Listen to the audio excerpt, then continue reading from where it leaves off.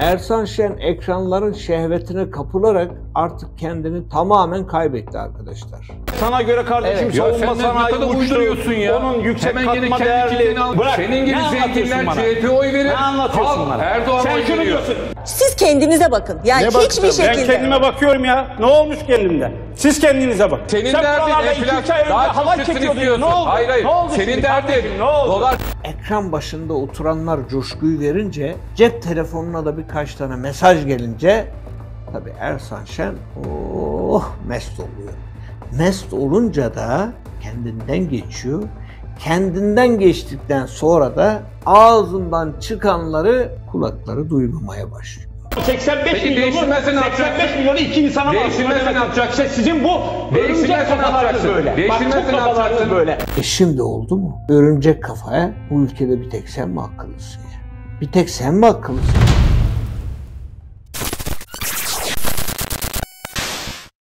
Ersan Şen ekranların şehvetine kapılarak artık kendini tamamen kaybetti arkadaşlar. Oturduğunuzda adam öyle bir dolu dolu geliyor ki yani, yani dolu dolu dediğim şey şu. Alıyor gerçekten işe yaramış yani. Yani bundan 5 yıl önce Ersan Şen'e deseydiniz ki ekmek fiyatı ne kadardı bilmezdi. Ya da bir bardak çay kahvehanede kaç lira içiliyor deseydiniz vallahi bilmezdi. Ama Türkiye'nin ekonomisi kötüye gidince ve karşılık da bulunca Ersan Şen maşallah böyle imtihana hazırlanan bir öğrenci edasıyla artık bütün rakamları tek tek not ediyor ve öylece ekranlara çıkıyor. Hele karşısında bir de Cem Küçük varsa Allah kendinden geçiyor adam. Sana göre kardeşim Evet. Savunma sanayi uçtu. uyduruyorsun ya. Onun yüksek Hemen katma kendi değerli kitleni almak için ürünleri başvurdun üretiyoruz. yani. Ya kardeşim bırak. Senin gibi Ne zenginler bana? CHP oy verir. Ne anlatıyorsun Halk bana? Erdoğan'a Sen oy şunu veriyor. diyorsun. Zenginler Putin'in veriyor. Biden'ın karşısında kim? Kim mi onlar? Tabii ki çıkacaksın. Bu ülkenin her evladı onun karşısına Erdoğan çıkar. otursun Onların- istersin, Kemal Bey mi otursun istersin? Kemal Bey de çıkabilir. Çekilirse Niye Kemal Bey yapamaz diyordu Böyle ya insanları burada. korkutamazsın. Kemal Bey Bırak. yapamaz diyordu ya Bırak, burada. Bırak bak. Kemal Bey'i eleştiriyorsun Çekilirse ya. çıkar kardeşim. Ersan Şen'den bugüne kadar sadece Cem Küçük kaçmadı. E, cevap verdiğini düşünüyor. O laf kalabalığı içerisinde, o bağırmalar, çığırmaların içerisinde Cem Küçük anlaşıldığını düşünüyor. Çünkü orada dört kişi konuşunca kendi sesini duyuyor. Ersan Şen'i duyuyor ama ekran başında olanlar duyamıyor.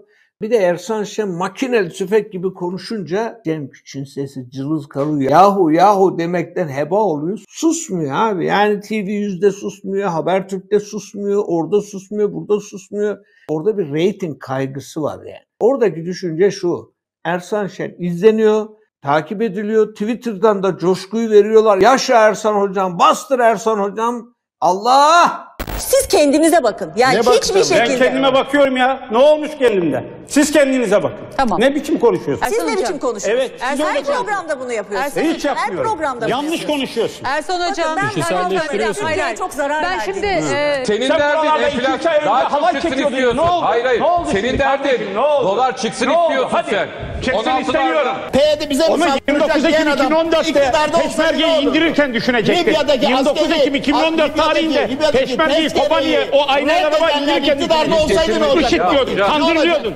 ekran başında oturanlar coşkuyu verince cep telefonuna da birkaç tane mesaj gelince tabii Ersan Şen oh mest oluyor. Mest olunca da kendinden geçiyor. Kendinden geçtikten sonra da ağzından çıkanları yeni yeni olmaya başladı. Kulakları duymamaya başlıyor. Geçen gün yine Cem Küçük'le tartışıyor. Karşısındaki muhatabının üzerinden Türk halkına hakaret etti. Bir keresinde katil devlet dediği için Nagihan Alçı'yı Habertürk'te felç etmişti ve Nagihan'ın yüzünden bir daha Habertürk'e çıkmama kararı almıştı. Ve devlet şayet katil devletse ona sonuna kadar da katil İşte- devlet işte denir. yanlış olan bu, yanlış olan bu, 1994'te yanlış olan. Türkiye katil Siz ona gidin başka sahipti. devletleri anlatın. Siz gidin anlat, Amerika 17 Birleşik Devletleri'ni anlat. Bu ülkede Git 17 İngiltere'yi bin- anlat, Bağırarak anlat. Türkiye. Cumhuriyeti Devleti'ne kimse katil devlet. Bey, Böyle bir, böyle bir hakkın yok. Bu ülkede senin terbiyesizlik yapmak yok. bir dakika. Bu ülkede Nagihan 17 bin Ersan fail Bey. meçhul varken Sen müsaade katil edin. devlet değilsin. Ersan Bey. Efendim 90'larda bu devlet Siz bal de gibi dinleyin, katil Nagihan devlet. İşine Bakın söz biliyorum. Edemezsiniz. Ya, Nagihan Alın o zaman Nagihan kutsal Alçı. devletinizi. Nagihan 17 bin Yönetenleri, faile meçhul devlet ses kullananları tonunuzu- eleştirebilirsiniz. diyebilirsin. Bakın bir şey Ama Türkiye söyleyeceğim. Cumhuriyeti devletine kimse katil diyemez. yakala- O zaman kusura Kimse bakmayın. topyekin o devlet zaman düşmanlığı yapamaz. devlet düşmanlığı Devlet falan başka yapan devlet adına Ne devlet düşmanlığı yapılır ne devlet Dünyanın her yerinde düşmanlığı haksızlıklar yapılır. Hiç kimse katil Ama şimdi kendisi hani devlete değil de bu devletin bireylerine, fertlerine hakaret etmeye başladı. Örümcek kafalılar diyor. Tıpkı Yılmaz Özdil'in bidon kafalı ya da göbeğini kaşıyan adam deyişi ihtiyar verdi, ülkesinden esnaf. konuşmuyorum. ben Zengin himaye vermedi. altına alınmak isteyen Zenginler halk adına CHP'ye konuşuyorum. verdi. Gençler adına konuşuyorum. Sanatçılar adına konuşuyorum. bırak sana. Bu ülkenin Genç bu, bu sanatçılar ülkenin, bir avuç bu ülkenin yani. Geç. parasını yiyemeyen, başkalarına yedirilen o paranın hesabını Hepsi soracakları CHP'li. ne, nasıl ödeyeceklerini CHP'li göreceksin. Bak İTO seçimlerinde Göreceksin bile sen. bütün zenginler göreceksin. Saadettin Saran gibi Sen CHP'ye oy göreceksin. verdi. Hepsi CHP. Takip Kardeşim etmiyorsun. İTO, İTO seçimi öyle olur, başka seçimi öyle Ya olur. işine Gerçek gelmeyince seçimde öyle. İşine Bak, gelmeyince gerçek- öyle. İTO gerçek seçimlerinde seçimde göreceğiz. zenginler CHP'ye Onun verdi. için Kemal Bak- Kılıçdaroğlu aday olsun Bak diye beş Üsküdar'daki bak Üsküdar'daki bak. Üsküdar'daki dönerci Sultanahmet'teki devam et kitapçı AK kardeşim. Parti'ye oy verdi. Bak benim Bunu önümde, önümde, rakamlar önümde. Ya, Halkın göreceğiz. alım gücü önümde. Bırak İTO sen halk seçimlerini gördün mü? yoksullaşmış. Sen onu anlat. İTO Sen ne seçimlerini anlatıyorsun? gördün mü? Sana göre Almanya'da Gördün millet donla dolaşıyor. Bırak. Ya Bırak. Almanya'da donla Bırak, dolaşmıyor. Bırak kardeşim. Uydurma. Ben buradaki Uydurma. insanımın alım gücüne bakarım. Sıkıntı ben rakamı var. 1 Ya kilogram tereyağı olmuş 256 Ya lira. sıkıntı var. lazım. Çare ne? Utanmak lazım. Çare Çare mi? Değişim çare. Ne? Çare bu insanlara mahkum değil bu ülke. E, değiştirsin o zaman millet. Değişim tamam mı? 85 Peki milyonu değiştirmezse ne 85 yapacaksın? milyonu iki insana mahkum ne yapacaksın? İşte sizin bu örümcek kafalarınız böyle. Değiştirmezse Bak bu ne yapacaksın? böyle. De- Çünkü siz kendi bekanınız Söyle. için hareket ediyorsunuz. Hayır Toplum halkı düşünmüyorsunuz. Hayır. Bırak. Senin gibi zenginler? CHP oy verir. Ne anlatıyorsun bana? Erdoğan'a Sen şunu diyorsun. Zenginler Putin'in veriyor. Biden'ın karşısında kim? Kim milyonlar? Ke- Tabii ki çıkacaksın. Bu ülkenin her evladı onun karşısına Erdoğan otursun istersin, Kemal Bey mi otursun istersin? Kemal Bey de çıkabilir. Seçilirse Niye Mansur Kemal Yavaş da Bey çıkar. yapamaz diyordu Böyle ya insanları burada. Kemal Bey Bırak. yapamaz diyordu ya Bırak, burada. Bırak bak. Kemal Bey'i eleştiriyorsun Seçilirse ya. çıkar kardeşim. Bu ülkenin Türk Seçilemez milletinin ve diyorsun. Türkiye Cumhuriyeti'nin menfaatlerini her seçilen en iyi şekilde temsil eder.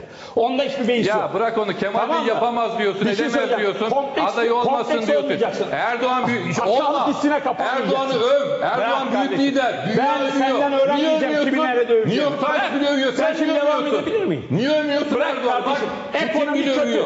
Tencere muhalefeti iktidarı Ya, yıkacak. Senin dünya dediğin bak, gibi öyle göz et, boyamalarla bak, bu ülkenin ekonomisi düzelmez. gidiyor, Bak sana söylüyorum. Dünya Erdoğan'ı Bak kabul kardeşim, ediyor. Dünya Erdoğan'ı kabul etmiş. Aha senin Bunu alım gücün. Aha AK Parti dönemi önümde. Biraz sonra rakamlar Ya verecek. Bakalım o dünya suratını göreceğim alkışlıyor. Sen de alkışla. Zoruna Kardeşim bak, gitmesin. Talk iyi yaptığı işleri bu millet adına alkışlarım. Mesela, ama, söyle, ama, ama, söyle. Neyse iyisi onu alkışlarım kardeşim. Varsa iyisi alkışlarım. Ukrayna politikasını Ya. alkışlarım. Rusya politikasını Ya. alkışlarım. Ama Rusya'ya bağımlı hale gelen Türkiye Cumhuriyeti ya. E şimdi oldu mu? Örümcek kafaya bu ülkede bir tek sen mi akıllısın ya? Bir tek sen mi akıllısın? 3-5 tane Twitter hesabından sana destek geliyor. Yaşa, bravo Ersan Hoca dedikleri için bir tek sen mi akıllısın? Çare ne? Utanmak lazım. Çare mi? Değişim çare. Ne? Çare bu insanların mahkum değil bu ülke. E, değiştirsin o zaman. Değişim tamam mı? 85 Peki milyonu, değiştirmezse ne 85 yapacaksın? milyonu iki insana mahkum Değiştirmezse ne yapacaksın? Sizin bu ne kafalarınız böyle. Ne kafalarınız böyle. Ne kafalarınız böyle. Bu ne yapacaksın? böyle. Çünkü siz kendi Söyle. için hareket ediyorsunuz. Toplum halkı düşünmüyorsunuz. Hayır. Bırak. Senin gibi zenginler? CHP oy verir. Ne anlatıyorsun bana? Erdoğan'a oy veriyor. Hülya Hökenek programı sunuyor. Cem Küçük konuşuyor. Ersan Şen konuşuyor. Diğer konuklardan da ses çıkmıyor. Adam örümcek kafalılar diyor. Hülya dönüp de demiyor ki hoca şşt, alo ne oluyor demiyor. Çünkü duymuyor. O da duymuyor. Kendi haline bırakmış abi. Nasıl olsa reyting de gelir. Karşı rakip de CNN olunca biz onun üzerinde bir reyting alalım işimize bakalım havasında. Kusura bakma Hülya Hökenek. Evet senin suçun yok ama sen burada kaybettin. Sen bu olaya müdahil olmadığın için kaybettin. Böyle devam edersen reyting alabilirsin ama kaybetmeye mahkumsun. Çünkü senin karşısındaki kişi dönüp diyor ki örümcek kafalar. Türk milleti için bu ifadeyi kullanıyor. Yine Hülya Hökenek'in programında hatırlar mısınız? Berhan Şimşek vardı. Militan dedi devletin valileri için. İyi Partili Ümit Dikbayır da hemen yanı başındaydı. Kuzu kuzu susmayı tercih etti. Bir dakika dedim ya. Devletin valisine sen nasıl militan dersin? Üstü örtülmeye çalışıldı. Allah'tan Hülya'yı uyardık da yani ben konuşunca uyandı da bir dakika dedi ya falan. Şimdi buralarda uyanık olması gerekmiyor mu? Vali militan, kaymakam militan, yargıçlar militan. Alınan kararları görüyoruz. Anayasa Mahkemesi'nin Peki sadece elinizdeki iki fotoğraf üzerinden genelleme ne kadar arz doğru? ediyorum efendim. Arz ediyorum. Bu kötü bir genelleme. Bu olmaz. Yani işte e, Anayasa Mahkemesi'nin kararlarını reddeden, ihlallerini reddeden yerel mahkemenin hakimleri Yargıtay'a üye oluyor.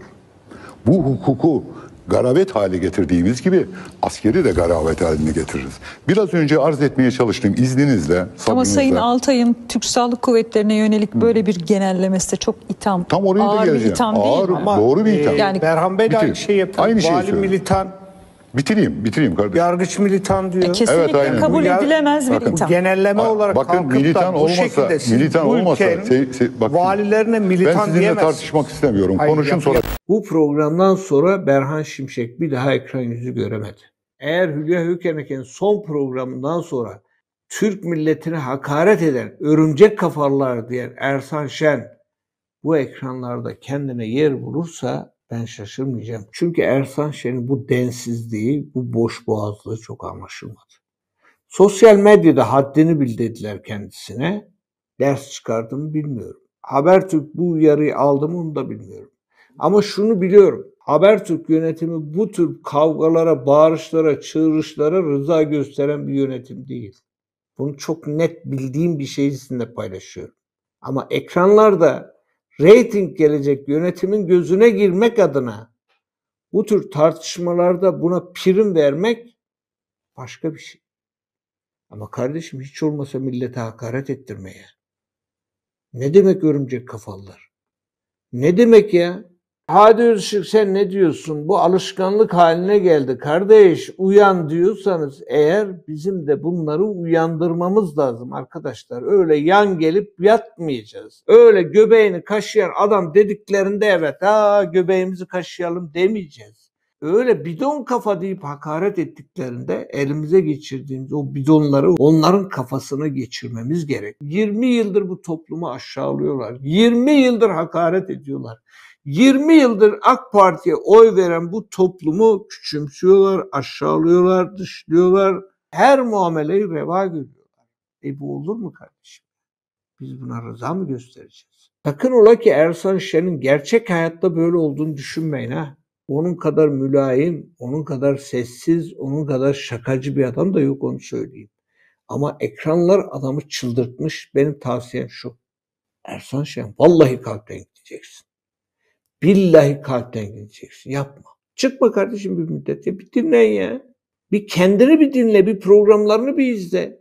Ya illa bir yerlerden bir şey olması gerekmiyor. Biliyoruz yani senin bunları niye yaptığını da. Biraz kendine kötülük etmekten vazgeç diyor. Kendine kötülük etmekten vazgeçtiğin gün bu topluma hakaret etmekten de vazgeçmiş olursun. Evet bu konuda benim söyleyeceklerim bu kadar. Herhalde sizin de söyleyecekleriniz vardır diye düşünüyorum. O yüzden müsaadenizi istiyorum. Kendinize iyi bakın. Allah'a emanet olun. Hoşçakalın arkadaşlar.